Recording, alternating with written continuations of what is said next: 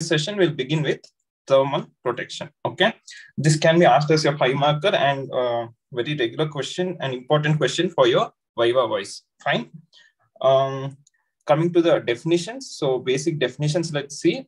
What is normal axillary temperature? What is the normal temperature range in the newborn? That is between 36.5 to 37.5 degree Celsius. Fine. Then how do we define hypothermia? That is important, no? So anything less than 36.5 degrees Celsius is hypothermia. in hypothermia, then we can divide it into three parts, as we all know. It one is cold stress, moderate hypothermia, and severe hypothermia. Cold stress is between 36 to 36.4 degrees Celsius. Moderate is between 32 to 35.9 degrees Celsius, and severe is less than 32 degree Celsius. And what is hyperthermia? Hyperthermia is above 37.5 degree Celsius. And few other definitions. What is thermoneutral environment? Thermoneutral environment is the narrow range of environmental temperature, environmental temperature at which the baby can maintain it the normal body temperature is maintained. Fine. So it is the environmental temperature at which the baby can maintain its minimal BMR for it to maintain a normal body temperature. Next is what is thermoregulatory environment? What is the difference between thermoneutral environment and thermoregulatory environment? Thermoregulatory environment is the environmental temperature beyond the thermoneutral environment range at which the baby increases its BMR, okay, increases his or her BMR to maintain the normal body temperature. That is thermoregulatory environment. So that is the difference between thermoneutral and thermoregulatory environment. Fine.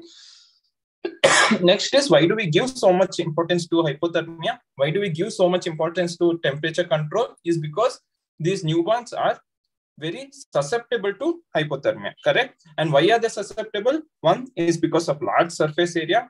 Two, because they have limited heat generating mechanisms as such, like how in adolescents or younger children, how it is developed, that doesn't happen so in newborns, correct? And especially in low birth weight babies, babies weighing less than 2.5 kgs, they're even more prone to hypothermia. And why is that? That is because of poor insulination due to the lower subcutaneous fat that is present in these newborns and decreased brown fat that is present in these low birth weight babies. And they're more permeable skin, so they're more prone for dehydration. Again, hypothermia, they have a larger surface area and they have poor physiological response to hypothermia and early exhaustion of the metabolic stores like glucose. So they have poor physiological response to hypothermia and even if they respond, the stores of glucose that is there is very less for the BMR to increase and BMR to increase and increase the body temperature of the baby as such. So these are the reasons why newborns are very susceptible to hypothermia. Fine. Okay. Next. Next is how do we measure? Fine. So it can be either measured by digital thermometer or by human touch. Okay. How do we measure it by human touch?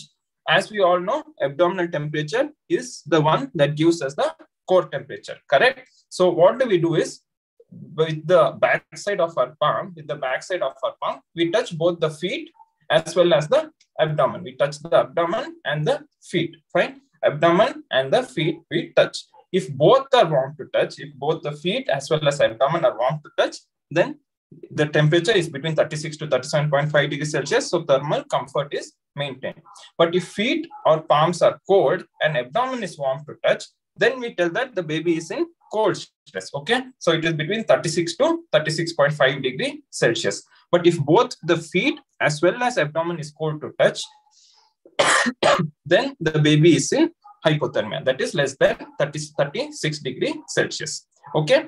And next is with the axillary temperature with digital thermometer and that is the one that is recommended. And as it is shown in this picture on the right side, how do we measure? We measure it by keeping it parallel to the axilla. Okay, we measure it by keeping it parallel to the axilla, not perpendicular, but we keep it parallel to the axilla and we measure. Okay, so how do we measure? Clean the thermometer because asepsis has to be maintained. Okay, place the bulb against the roof of the axilla that is not perpendicular. Again, it is parallel to the axilla. Then you hold it firmly, hold the axilla firmly against the chest wall, wait for three minutes, read the temp temperature and fine. In the end, clean the thermometer again and keep it back. Okay, this is how we measure. And next is when do we measure? Correct? When do we measure? One is immediately after completing the initial care of newborn to see whether the baby is in thermal comfort or not. And then we'll have to do it in the postnatal ward, in the postnatal ward. Fine. So routine measurements for healthy baby, usually it is not required. Usually it is not required because healthy baby, there will be in the mother side, skin to skin contact will be maintained. And once that is maintained, or regular clothing will be put to the child. And so we assume that the baby is in thermal comfort. If the baby is sick, then every two hours we usually monitor. And if they're low birth weight babies, especially, we'll have to monitor, even if they're in the mother side, we'll have to monitor at least twice daily. And if it is less than 1500 grams, at least four times daily, it has to be monitored. These two, even if they're on the mother side, healthy baby, we will have to monitor twice daily and four times daily. Okay. Next is what is warm chain? What is warm chain? These are the steps that is taken to prevent hypothermia. These are the steps that is taken to prevent hypothermia. And this can come as your Viva voice or as your five method. What are the 10 steps of warm chain? What are the 10 steps of warm chain? One is first step is the delivery room. The delivery room or the OT as such has to be warm. For that, uh, temperature of around 26 to 20, 24 to 26 degrees Celsius has to be maintained, whether, whether it is the OT or the delivery room. Next is the resuscitation corner. So the resuscitation corner has to be maintained warm. For this, what do we do? Before 20 minutes itself, we go to the uh, the neonatal uh, resuscitation corner. we see that before 20 minutes, it is warm. The temperature crib that is there, we'll have to keep it, switch it on, put it to the maximum heater output and we'll have to keep it on 20 minutes beforehand itself. Okay. Next is immediate drain. As soon as we receive the baby, we'll have to take a warm, pre-warm linen cloth and dry the baby immediately.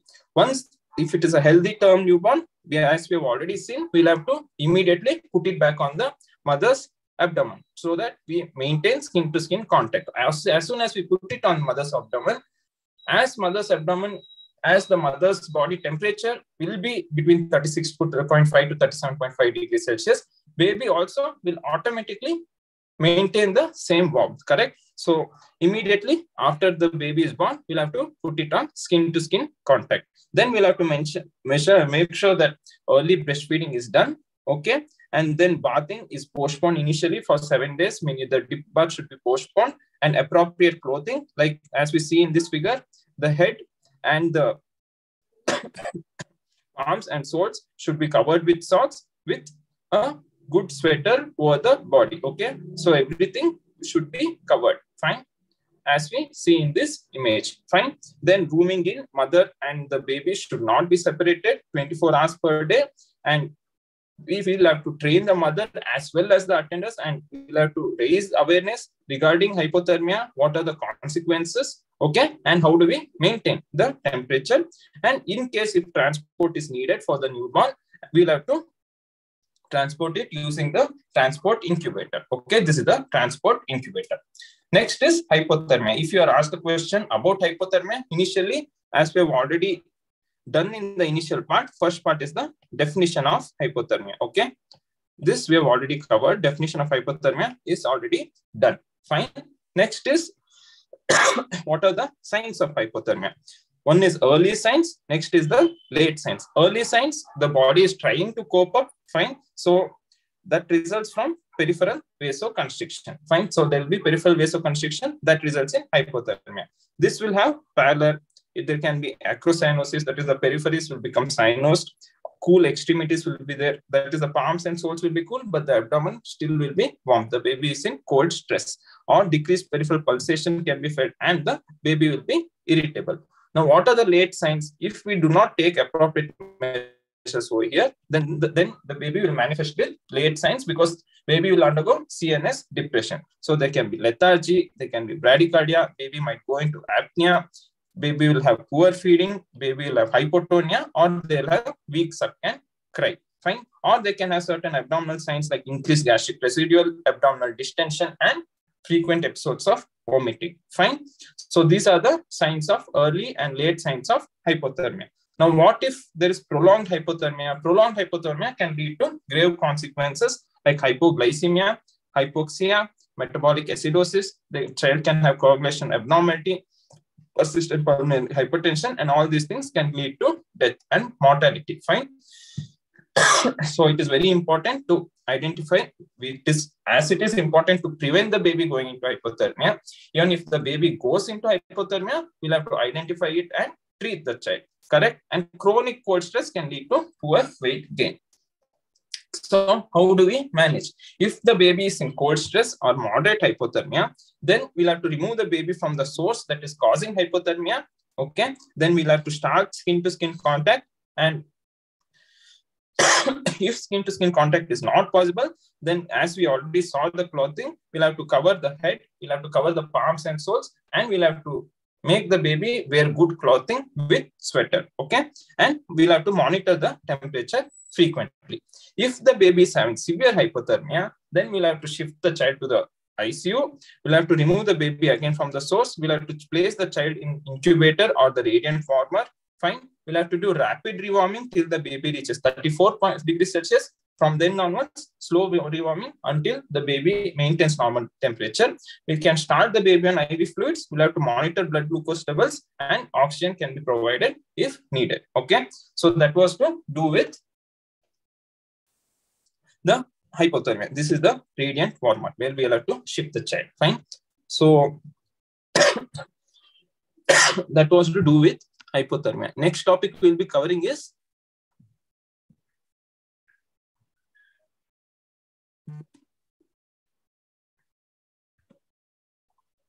kangaroo mother care. Okay, KMC. Nothing but kangaroo mother care. Now this is this can again come as your 10 marker or 5 marker. Uh, very important question as such. So what is the basic definition definition of KMC? KMC or kangaroo mother care. This is nothing but care of preterm or low birth weight infants by placing them in skin to skin contact with the mother or any other caregiver. Again, this is also basically to prevent hypothermia as well as the growth of the child. Fine. So care of preterm in the low birth weight infants.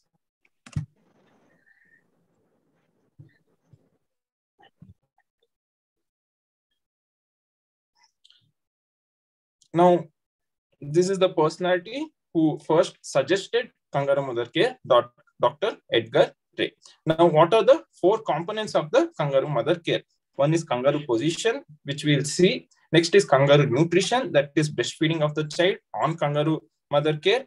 Next is when do we discharge the baby? And then how do we follow up the same child, same baby? Okay, so these are the four components. Kangaroo position, kangaroo nutrition, kangaroo discharge and kangaroo follow-up. Fine. Next is what are the benefits? What are the benefits for the baby if we are if they if we put the baby on kangaroo mother care? So basic physiological benefits is one is obvious that is on putting skin to skin contact there will be reduction in hypothermia that is what we read till now next is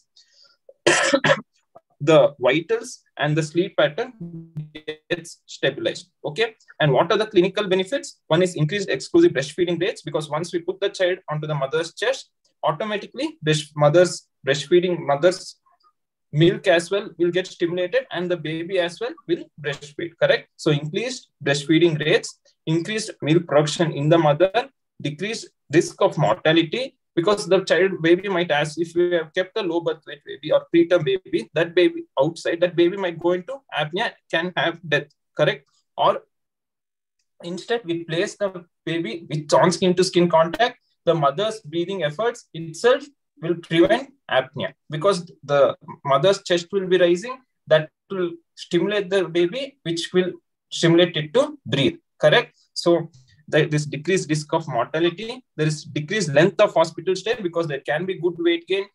Correct that good weight gain. If there is satisfactory and good weight gain, then the length of hospital stay will in turn end up decreasing. Correct. Decreased risk of nosocomial infection or sepsis, and there is increased rate of weight gain, length gain, as well as head circumference gain. So there are numerous benefits by giving KMC. Correct?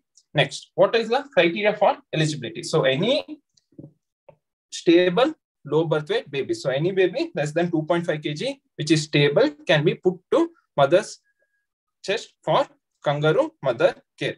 And sick babies, once they're hemodynamically stable, will have to immediately start KMC. Correct?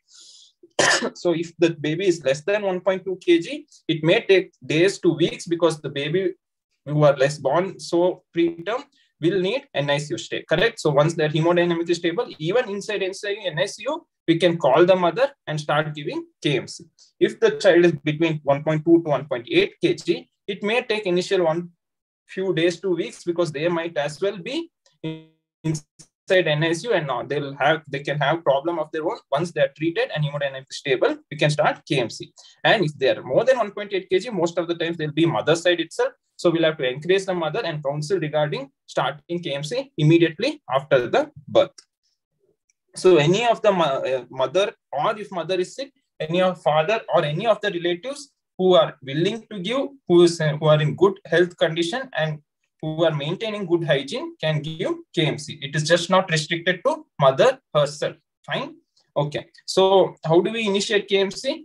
First part is the counseling the mother or the relatives as to how to give KMC.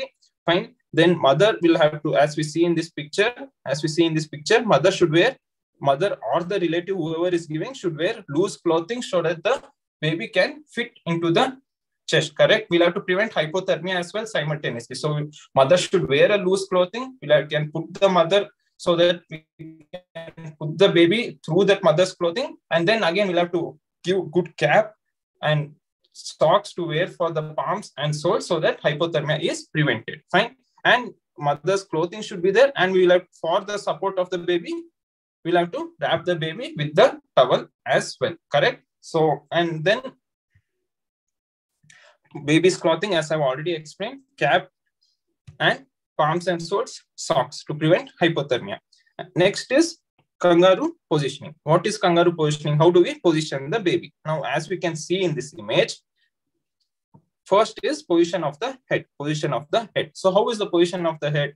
head should be slightly turned and chin should touch the mother's chest. Okay. and it should be slightly extended so that one, there is eye to eye contact between the mother and the baby. Two, it also prevents obstruction so that that obstruction itself will not cause apnea. Correct. So head should be slightly extended, chin should be turned and touching the chest. Okay. Next, the hands should be flexed. Hands should be flexed baby's abdomen should be touching the mother's chest and abdomen so that with each breathe of the mother, baby as well gets stimulated and baby as well can breathe. And the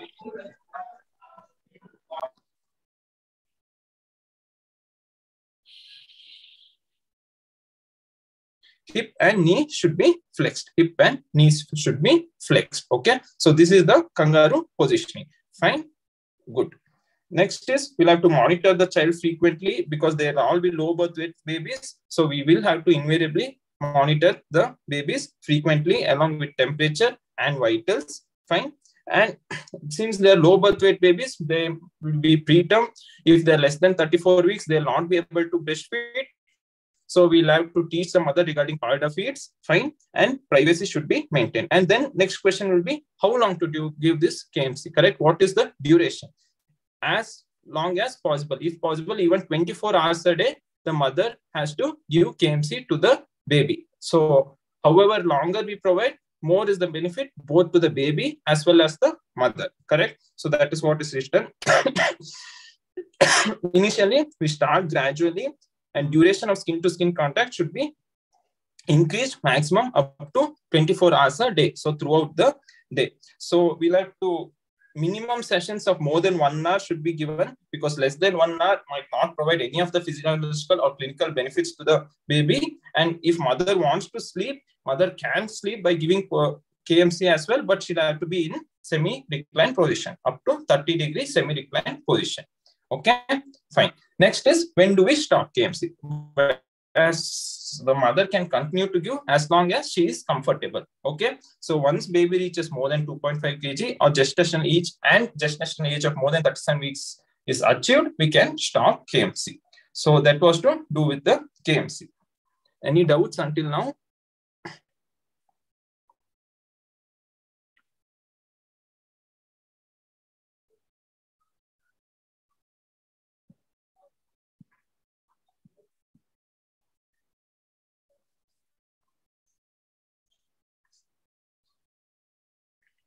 Fine. So we'll continue with the next topic that is breastfeeding. Breastfeeding. This is again very, very important topic as we all know. So let's start with preparing the mother for breastfeeding. So when do we start preparing the mother for breastfeeding? We'll have to prepare, start preparing the mother and counsel the mother antenatally itself, not after the birth of the child, correct? So antenatally itself, we'll have to start counseling the mother regarding the importance and how to breastfeed the child.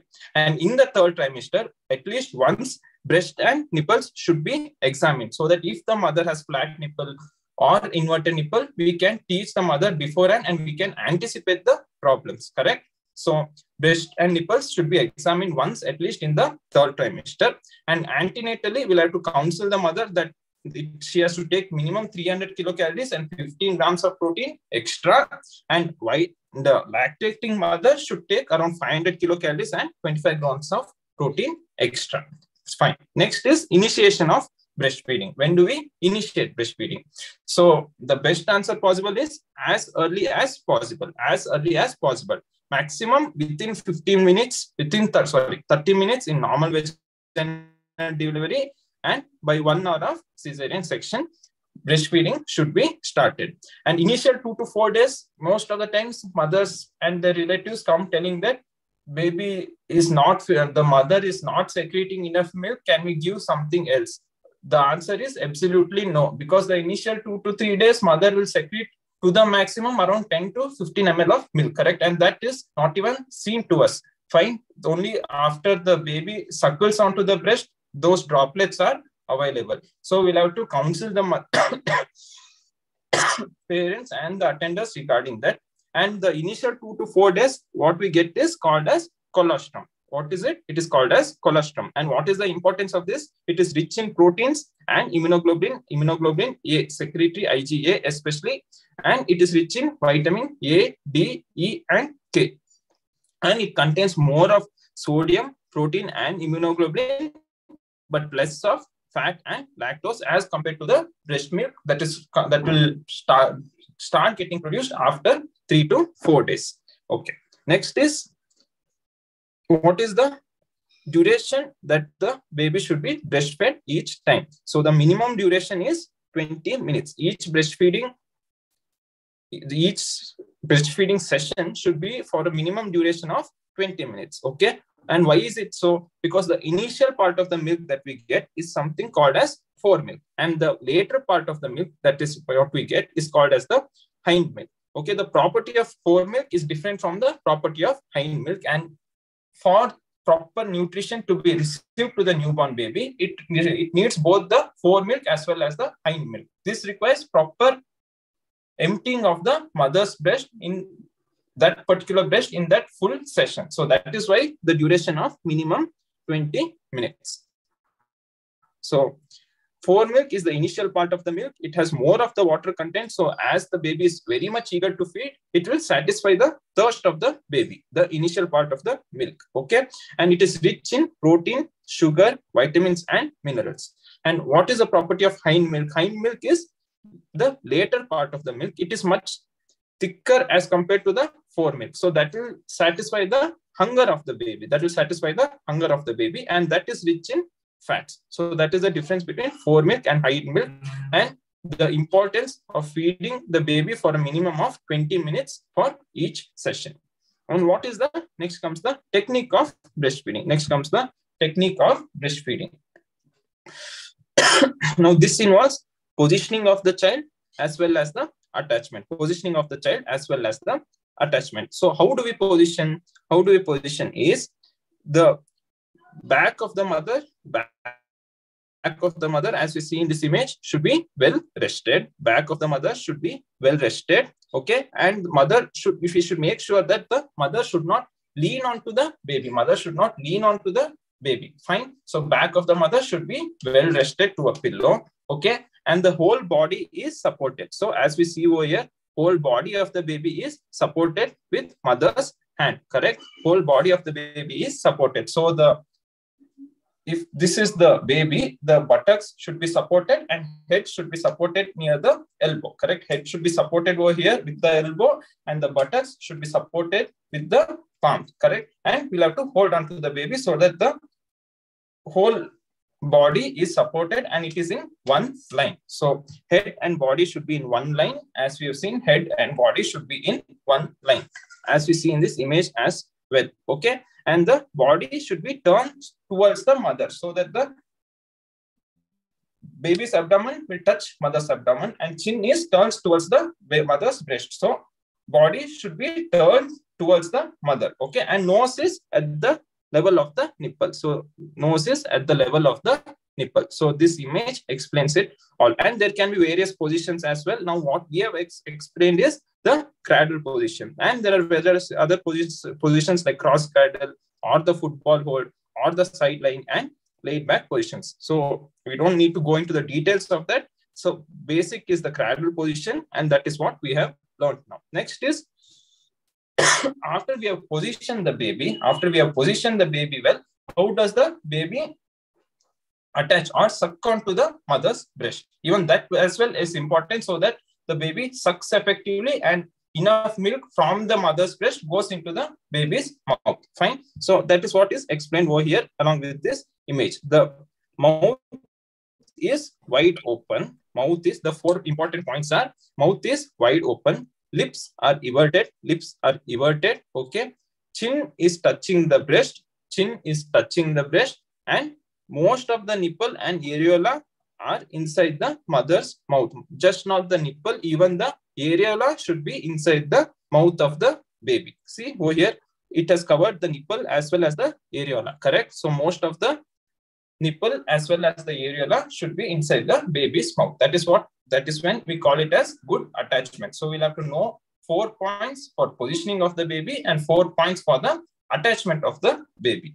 So that was to do with the technique of breastfeeding. Next is what are the reflexes that are present in the mother and what are the reflexes that are present in the baby that helps in breastfeeding of the child, correct? So in mother, as you all know, there are two reflexes. One is the prolactin reflex that helps to secrete more milk by the alveolar epithelial cells. Next is the oxytocin reflex that helps to eject the milk from the mother's breast onto the baby. now, what is prolactin reflex? It is also called milk secretion reflex because it helps in the secreting mother's milk. Usually it is produced in the night mother. So that is the importance of breastfeeding even in the night. Every two hourly baby mother has to breastfeed the child. Okay.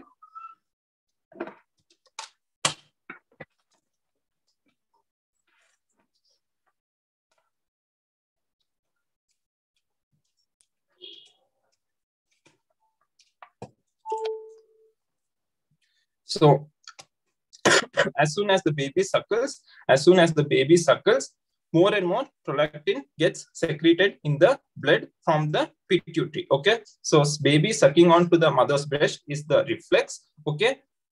That helps in secreting more and more prolactin hormone from the pituitary and more so in the night, which is the important of night feeding. And that prolactin in the blood reaches the alveolar epithelial cells through the blood and helps in increasing the secretion of milk.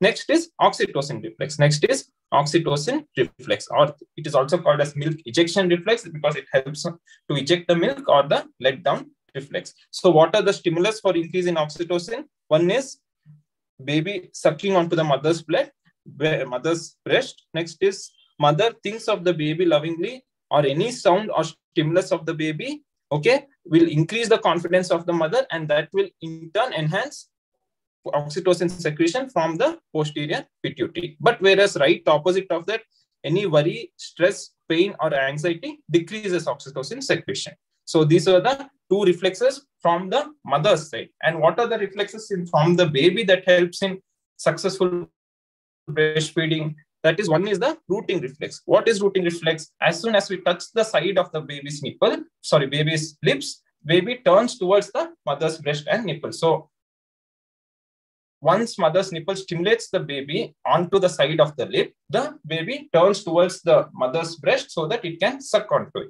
Next is the sucking and swallowing reflex, which will get coordinated by 34 weeks period of gestation. Next question will be how often to breastfeed the baby. Correct. This is the these are the common questions that we encounter. So the ideal schedule is exclusive breastfeeding on demand. Whenever baby demands, whenever baby asks for milk, the mother will understand certain cues that are present in the baby as it is hungry, and mother should go on to feed the child. Okay, and on an average, eight times per day or 15 to and eight times per day and 15 to 20 minutes each session. Now we have fed the baby. Okay, fine. But how do we understand whether what we have the uh, breast milk that is given to the baby is sufficient or not? Okay, this is by seeing the one is urine output. Fine. If the baby is passing six to eight times per in per day, six to eight times urine output per day, then that means to say that there is adequate, sufficient breastfeed being given to the child. Next is once the baby breastfeeds, it sleeps adequately. Around one to two hours, it sleeps well. Okay. Then there is regular weight gain, adequate weight gain. Okay. and next is it passes one to six liquid stools per day. So these are the pointers towards the points that baby is being breastfed adequately and sufficiently. Next.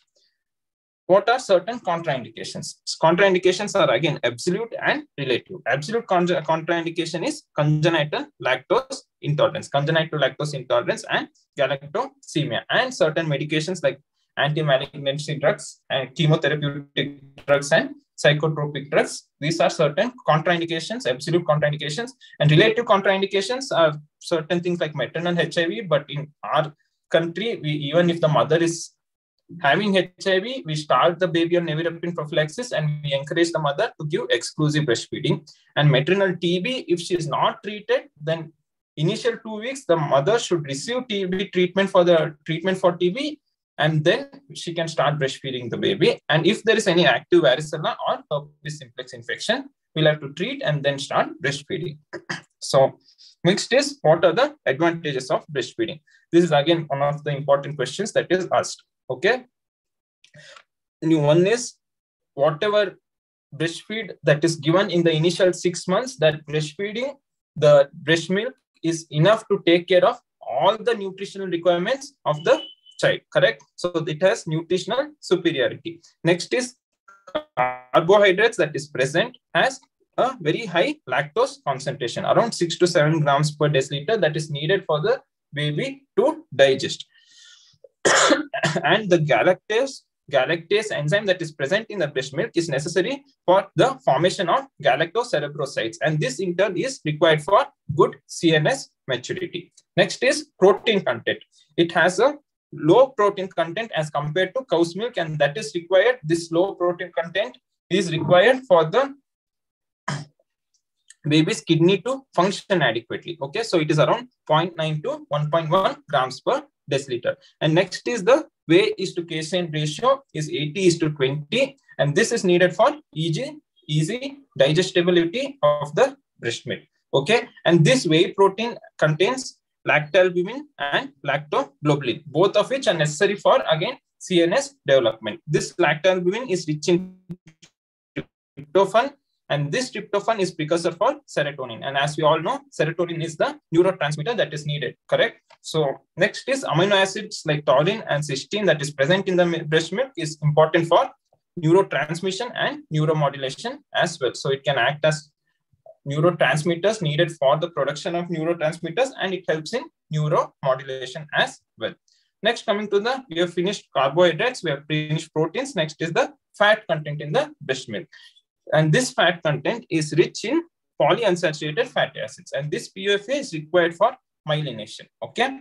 And the next one is it is rich in omega-2 and omega-6 fatty acids. And this in turn is needed for prostaglandin and cholesterol secretion. Okay. Next is vitamins and minerals. So we have done with major protein, major nutritional requirement. Now coming to the minor, that is vitamins and minerals. Okay. Vitamins and mineral content in breast milk is enough to nourish the child for the initial six months of life. And the calcium is to phosphorus ratio is more than two. Okay. That again in turn helps in good calcium absorption. Fine. And lactose, lactase that is present in the breast milk also pro promotes calcium and magnesium absorption. Next, coming to the water and electrolytes, 88% of the breast milk contains water, okay? And there is low solute load as well, low solute load and low protein content, which is optimum for the immature kidney of the baby, immature kidney of the newborn baby. Next is microbiological. It contains certain molecules that can prevent it from getting infection. One is the breast milk as it is, is very sterile. So it there is very less chance of contamination as compared to cow's milk. And most of the times what the parents do is they end up feeding it with the uh, uh, nipple, they end up feeding with bottle. So this bottle feeding will lead to again contamination of the nipple which is present in the bottle and that in turn can cause infection in the baby. So as compared to that, this is sterile. Next is it contains lactoferrin and this lactoferrin is bacteriostatic and it inhibits E. coli growth. Next, it contains bile salt stimulated lipases, bile salt stimulated lipases, which kills amoeba and giardia. Next, it also contains PABA, which is a protection against malaria, and it contains bifidus factor and acidic pH. And these two molecules will lead to increased colonization by lactobacillus bifidus. Okay, lactobacillus bifidus, which is in turn a good bacteria and that is needed for good digestion. Correct? Okay. And what are the immunological superiority that breastfeeding has? It is non-allergic. It is non-allergic and it supplies passive immunity. It supplies passive that is again enough for the initial six months of baby's life. So it transfers macrophages, lysozymes, and complements. It gives transfers secretory IgA and all these things. Fine. So it is immunologically superior. And there is lower risk of allergy, ear infection, or any orthodontic problems as compared to babies who are not breastfed. And in the future as well, there is lower risk of developing any diabetes, heart disease, or malignancies such as lymphoma. And there is better mother to baby bonding and higher IQ and various benefits not only to the baby but to the mother as well because that results in uterine involution. There is reduced chances of postpartum hemorrhage. There is lactational amenorrhea. So it it leads to physiological contraception and there is decreased risk of carcinoma breast as well as ovary. So in short, babies who are breastfed are 14 times less likely to die from diarrhea. They're four times less likely to die from any pneumonia or any other respiratory infections. And they're 2.5 times less likely to die from any other infection. So this is the advantage and importance of breastfeeding. Next, coming to storage in under room temperature, breastfeeding can be stored between 6 to 8 hours. If refrigerated, they can be stored for 24 hours. And if frozen in milk bank, it can be stored up to 3 months. the next question that you can be asked in your Viva or in your theory for 5 marks is difference between human milk and cow's milk. Now, as we all already read, there is low protein content in human milk as compared to cow's milk. So it is 1.1 gram and cow's milk is 3 grams. And the protein content in cow's milk is biochemically different. So it is less digestible as compared to the breast milk. Next is ways to casein ratio. There was a mistake here. Sorry, this 40 is to 20. 40 is to 20. Um, this 40 is to 60. In human milk, it casein is to be is 40 is to 60. And the casein that is the casein that is present in the breast milk beta casein, and this beta casein is not other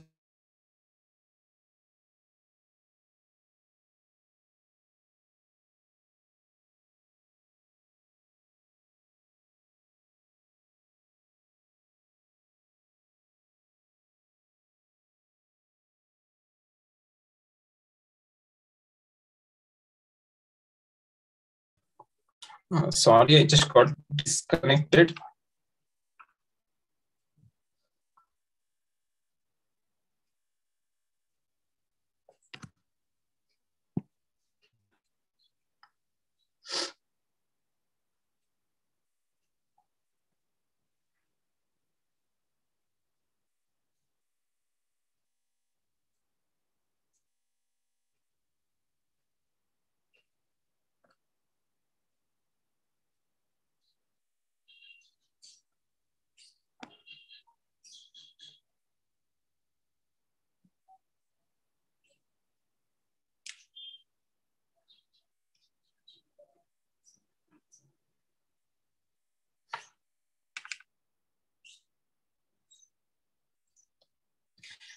Then coming to the lactase content, it is 7 grams in human milk as compared to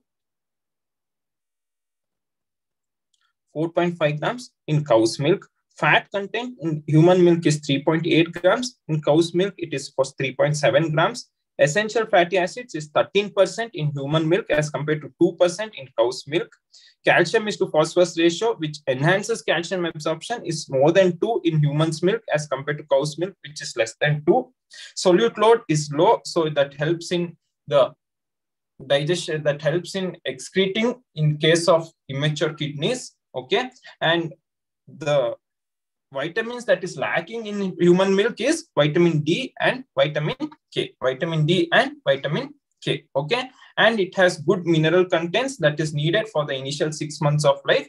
And the total kilocalories is 67 kilocalories for both human as well as breast milk. Okay. Fine.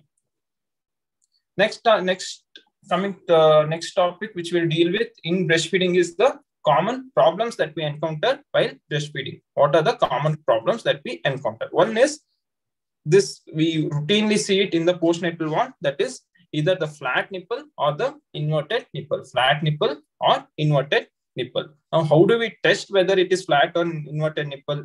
In case there is a short and protracted nipple, we initially try to protract it. Okay, we initially try to pull it. Once it is, once we pull the nipple, if it gets protracted, then we don't call it as flat or inverted nipple. If we are unable to protract it, then we term it as flat or inverted nipple. So in, in case there is flat or inverted nipple, then what do we do? How do we treat? So the initial 15 days or so, we ask the mother to use the syringe. So we take a 10 cc syringe, okay? We take a 10 cc syringe, we cut it, we cut it, then we remove the cap and insert it in the opposite direction okay? And then we put on to the mother's breast we put on to the mother's breast and then we pull it then we pull it so that the nipple gets protracted. Or we can use double syringe technique as well. So using the syringe we try to protract and this is done before every session of breastfeeding for the initial 10 to 15 days so that as soon as we as as and when we keep protracting the nipple in each of the sessions, it so happens that by 10 to by the initial one to two weeks, the nipple remains protracted. Okay, so that is the idea behind it. Next problem we can encounter is breast engorgement. Breast engorgement. So when does this happen? As if the baby doesn't feed to the, if the baby is not made to feed properly on time or if inadequate breastfeeding is given, what happens is the milk gets collected, correct? The milk gets collected. And then what happens is it the amount that can be stored exceeds, correct? Amount the breast can store, it takes the milk that is secreted exceeds beyond that. So that leads to swollen, hard, warm, and painful breast, which is nothing but engorged breasts. So when all this happens, instead of breastfeeding the child, other feeds are given, or there is delayed initiation or early removal of the baby if we do not continue for uh, continue for full 20 minutes, or there is bottle feeding or any sort of restriction to breastfeeding, it leads to breast engorgement. And in such cases, what do we do? In such cases, as it is a very painful condition, we can advise giving some tablet like PCT for the mother and then we apply moist heat over the breast and gentle massage for around three to five minutes before each session of breastfeeding. And we try to express the excess breast milk that is present, okay? So that the breast softens. Next is sore nipple or cracked nipple. So when does this happen? If the baby is not attached, we initially saw the four steps of attachment, correct? And in that, one of the step was mouth is, lips are fully everted and it covers whole of the nipple as well as areola. Instead of doing this, if baby just suckles onto the nipple, what happens is it results in sore or cracked nipple, sore or cracked nipple. And if this issue is not addressed, over the cracked or sore nipple, the bacteria goes into it and it, that causes infection, mastitis or abscess. Okay, or oral thrush in the baby as well can lead to sore nipple or cracked nipple. Treatment is nothing but we'll have to advise the mother regarding proper attachment. Okay, we'll have to counsel and reposition the baby. And we treat oral thrush if present in the baby. And application of hind milk also act, it acts as moisturizer because of increased fat content. So we can apply that hind milk over the mother's nipple. Okay. if still the mother is not able to breastfeed, then we can ask her to express the milk until the nipple is healed, until the sore nipple is healed. Okay. Next is blocked duct if baby doesn't suckle onto one of the part of the nipple, it leads to blocked duct because that part of the nipple won't get drained. Next is mastitis or abscess. Either if there is persistence of blocked duct or the sore nipple or cracked nipple is not healed, in that case, infection can occur, which leads to mastitis. And delayed or incomplete treatment of this mastitis, infection will further progress, lead to accumulation of pus and cause breast abscess. So these are certain routine problems that is encountered while breastfeeding. So we have dealt with this topic, I guess, in detail. Okay. So that was to do with the breastfeeding. Any doubts until now?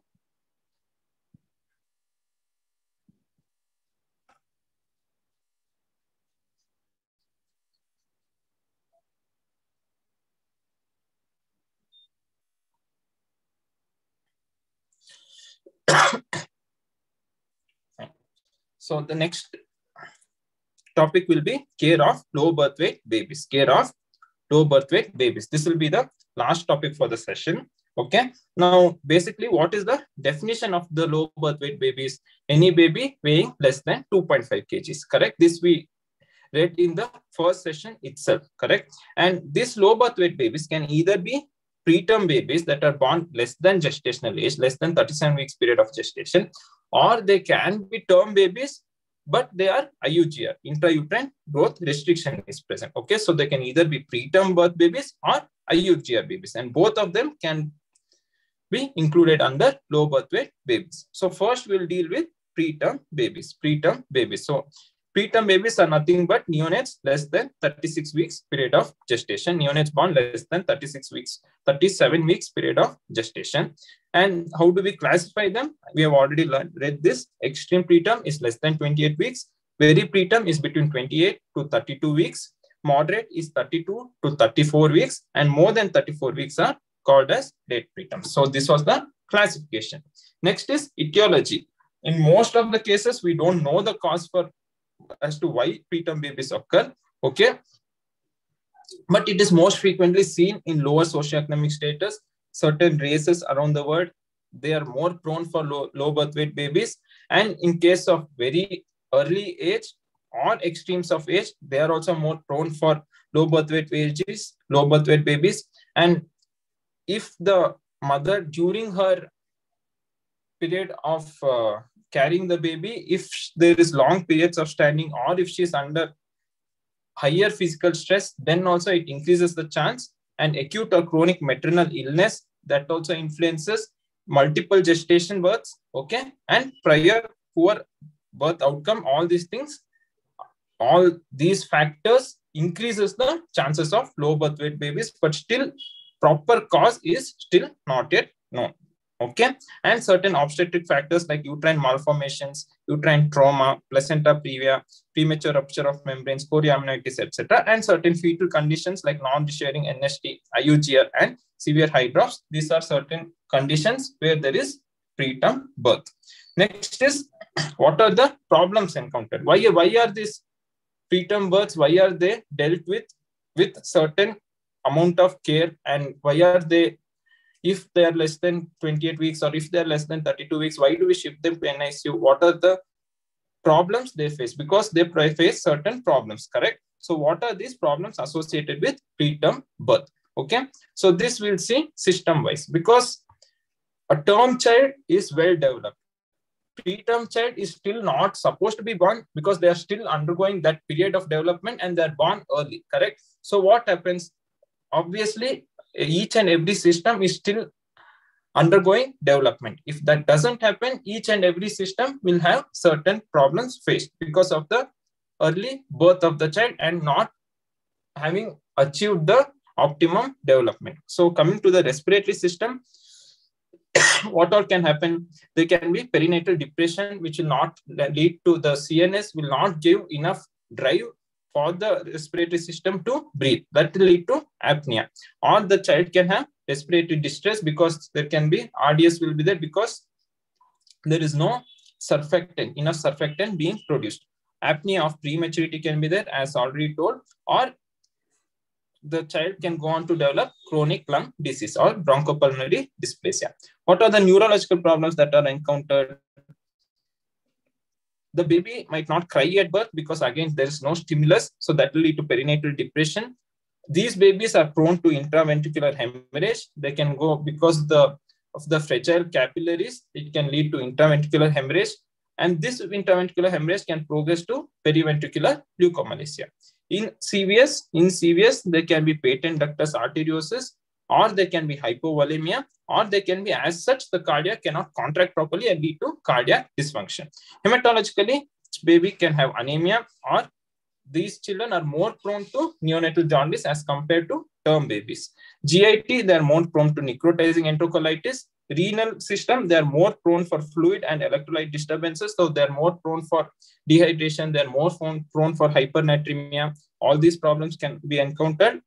And as we already read, the causes for temperature hypothermia, we saw that low birth weight babies are more prone for hypothermia as compared to term babies. And immunologically, there is increased risk of infection because the immunological system as well is not developed. So there is increased risk of neonatal sepsis. And coming to eyes, there is retinopathy of prematurity, again, because of the vascularity is not well developed. Okay. Next, coming to the long-term problems. What are the sequelae that we can expect in this low birth weight babies? One is neurological disability can be there. So that can lead to developmental delay and child can go on to have cerebral palsy. The child can have other than the rather than the other than motor disability, they can have effect on cognitive dysfunction as well. And there can be sensory impairment as well, like hearing loss, visual impairment, etc. Fine. ROP again can lead to vision loss. Okay, chronic lung disease or BPD can occur. These children will have poor growth and increased rate of childhood illness and admissions. Fine. So these are the immediate problems as well as long-term problems encountered in low birth weight babies. So this was to low birth preterm babies, more than low birth weight babies, preterm babies. Fine. So the initial part of low birth weight babies, we read about preterm babies. Next, let's go on to read read about IUGR babies or small for gestational age babies. So usually these two terms are used interchangeably. SGA babies and IUGR, usually they use interchangeably, but there is a slight change in the definition. There is, a, if asked, there is a slight change because the definition as such varies, okay? SGA babies are the ones on plotting onto the Fenton chart for that particular gestational age, they fall less than 10th percentile. So birth weight is less than 10th percentile for that gestational age on planting to the Fenton's chart. But what are IUGR babies? Intrauterine growth restriction babies. These are the ones, ones in the abdomen, mother's abdomen. When they go for frequent scanning, they check for growth velocity, how the baby is growing, correct? So on checking that, if there is diminished growth velocity in the fetus, as documented by at least two intrauterine growth assessment, then we call it to be IUGR baby. Okay, so the basic definition itself of SGA and IUGR babies is different, fine. But in general, we tend to use it interchangeably. Next, coming to the etiology. What are the causes for IUGR or SGA babies? So this we can be divided as maternal factors, placental factors, and fetal factors. What are the maternal factors? What can be certain demographic or race itself can be a cause. Maternal malnutrition, any uterine anomalies, okay, so that if there is a uterine mass present, that will not let the baby grow, correct? That will lead to IUGR, okay? Any chronic disease in the mother or factors interfering with the blood flow and oxygen flow between the mother's uterus and the placenta or exposure to any teratogens. Okay. Next is the placental factors. Okay. Any placental malformation, any infarcts or any focal lesion, placental abruption or placenta previa, and insufficient uteroplacental perfusion that which can happen in case of preeclampsia if present in the mother. And finally, coming to the fetal factors. Okay. There can be constitutional growth delay in the fetus, or there can be any malformation or there can be any chromosomal abnormality or congenital infection, Torch's infection that can affect the fetus. So this was the etiology or cause for SGA babies. Next is how do we divide this IUGR uh, babies? How do we divide? This is based on the Ponderal index. Why is it important is if the insert has occurred in the initial three months of life or early or late, it helps us to differentiate. Okay. So what is Ponderal index? Ponderal index is cube root of cube root of weight in grams divided by length into 100. Okay, we can it can be asymmetric IUGR or symmetric IUGR. If the ratio is less than 2, it is asymmetric. If it is more than 2, it is symmetric IUGR. Asymmetric IUGR is what is called as head sparing IUGR because it happens in later part of pregnancy most of the head growth occurs in the first trimester itself. So it is called head sparing IUGR. The head of the baby will be fine, the size of the head will be fine, but the body appears small, correct? As compared to symmetric IUGR, wherein the head as well as the body will be small, okay? So they will be proportionately small, and that is why they are called symmetric IUGR.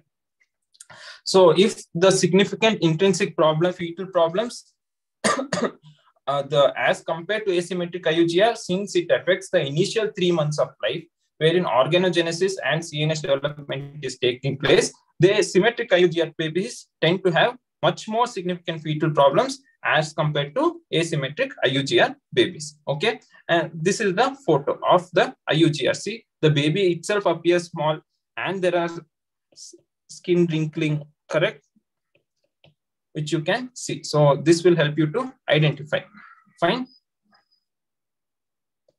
Next is what are the potential complications like we how we saw in preterm baby. What are the complications that the IUGR baby can have? They can have congenital anomalies because that itself is one of the cause. Perinatal depression, okay. Meconium aspiration can take place. Pulmonary hemorrhage, pulmonary hypertension, hypoglycemia because they have less stores okay hypocalcemia hypothermia polycythemia and thrombocytopenia these are few of the definite these are few of the complications of iugr babies okay